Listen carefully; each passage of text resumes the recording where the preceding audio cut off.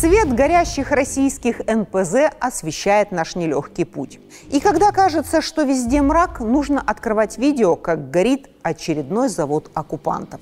Депутат Госдуры, спец по Animal борделям Журавлев предрек поражение России в войне. Угадайте, из-за кого? Лишать имущества и гражданства. Что не так с мобилизацией в Украине? Я Наталья Власова. Подписывайтесь на наши соцсети и останетесь без главных новостей. Не сегодня.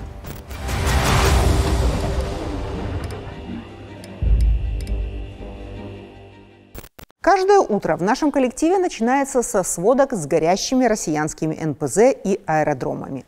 Это тебе не лупить по складам новой почты и отчитываться ртом Коношенкова о очередных уничтоженных сотнях танков и тысячах натовских наемников – с получением ракет «Атакамс» Украине будет легче обрывать оккупантам логистические цепочки, а также бить по центрам принятия решений, как когда-то грозились сами путинисты. Кстати, очень забавный диалог состоялся между пропагандисткой Скобеевой и депутатом Госдуры Журавлевым. Это тот, который о европейских борделях с черепашками рассказывал. Оказывается, он специализируется не только на скотоложестве, но и на военных стратегиях и показания у данного пациента путаются. Оказывается, Россия не воюет со Штатами. И вообще полномасштабной войны нет. А самое ужасное, дескать, такие города, как Часов Яр, можно стереть с лица земли. А вот что делать с крупными населенными пунктами?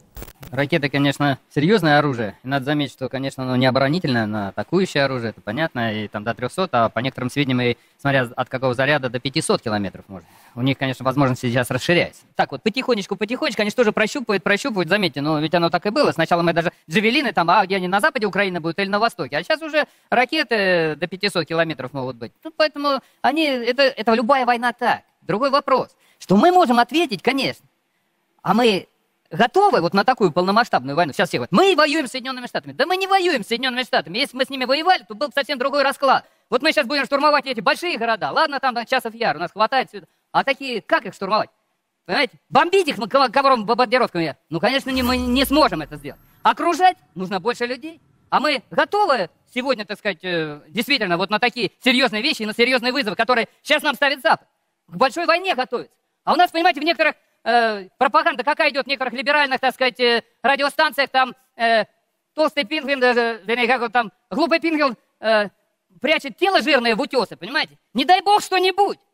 Мне больше всего понравилось, как обозреватель борделей с животными не смог выговорить слово «пингвин». А еще его умозаключение, что в возможном поражении Россиюшки виновата проклятая оппозиция – это те три с половиной хипстера, которые сидят за границей и маркируются как либералы. И вот они не пойдут умирать за царя, сетует депутат. Скажу больше, и сам Журавлев не пойдет. Ведь до сих пор он предпочитает ходить по московским барбершопам и по пропагандистским шоу. А мог бы штурмовать какой-либо городок на Донбассе.